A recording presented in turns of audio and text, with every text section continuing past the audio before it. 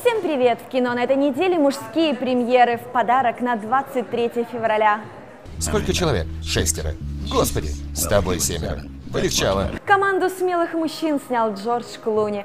Премьера «Охотники за сокровищами» основана на реальных событиях. По сюжету музейные сотрудники во время Второй мировой войны ищут и спасают произведения искусства от нацистов.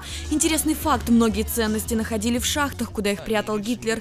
Критики уже оценили звездный состав картины. Отважных хранителей культуры сыграли Кейт Бланшетт, Мэтт Деймон, Джон Гудман и Билл Мюррей. Режиссер Клуни тоже исполнил одну из главных ролей. Правда, некоторые назвали картину излишне пафосной, но, как говорится, поживем-увидим. Еще одну историю об успешном парне покажут в фильме «Снова 16». Надо было всадить этому придурку две пули в зад. Да, я вас понимаю, мадам.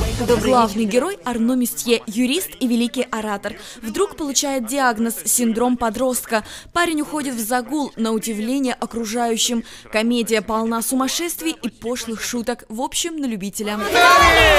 Про девочек кинопрокатчики тоже не забыли и выпустили мультфильм «Фея. Загадка пиратского острова».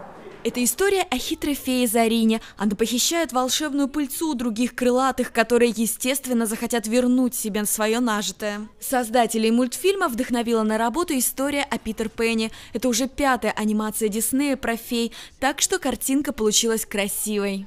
Не жалейте времени на хорошие фильмы. Встретимся в кино. Стоять на месте, швабры!